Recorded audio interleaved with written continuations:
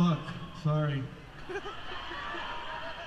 That was just a warm up. That's just a warm up, y'all. Y'all feeling good? Everybody's feeling good? We're back home. Sorry, last year I had a little bit of a. I got sick right before I came, and it broke my heart. I couldn't be here, but it made it makes it so much sweeter to be back with you now. So thank y'all so much. I love you guys so much.